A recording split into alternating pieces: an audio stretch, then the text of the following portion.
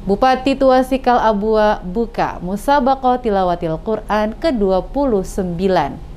Musabakoh Tilawatil Quran MTQ ke-29 tingkat Kabupaten Maluku Tengah mengusung tema mewujudkan generasi Qurani yang cerdas, sehat, dan berakhlakul karimah menuju Maluku Tengah yang maju, aman, dan bermartabat dibuka secara langsung oleh Bupati Maluku Tengah, Tuasikal Abua, di Baileo Soekarno, Kota Masohi pada Sabtu 4 Desember. Dalam sambutannya, Tuasikal mengatakan pelaksanaan kegiatan MTQ sejatinya senantiasa memiliki daya tarik dan ruang tersendiri dalam kehidupan masyarakat, di mana kegiatan keagamaan ini selain menjadi media dakwah dan syiar keagamaan, juga secara nyata telah terbukti mampu menjadi daya dorong yang kuat dalam memacu percepatan pembangunan di daerah.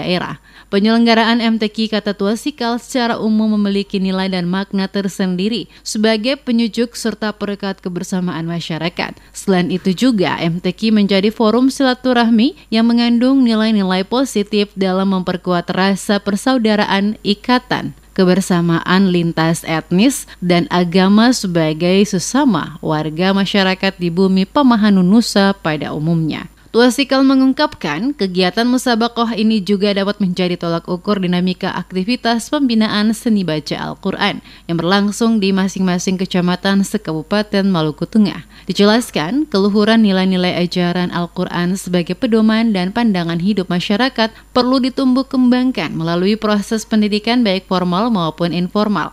Tuasikal mengungkapkan, MTQ tidak hanya disikapi sebagai kegiatan rutinitas seremonial, tapi mampu menjadi momentum strategis dalam mewarnai pelaksanaan pembangunan dan perilaku hidup masyarakat dalam kehidupan sehari-hari dengan nilai-nilai Al-Quran. Kehadiran akademi senantiasa memberikan daya tarik dan ruang tersendiri dalam kehidupan masyarakat. Mengingat event keagamaan ini selain menjadi media dakwah dan siar keagamaan yang efektif, juga secara nyata telah terbukti mampu menjadi daya dorong yang kuat dalam memacu percepatan pembangunan daerah.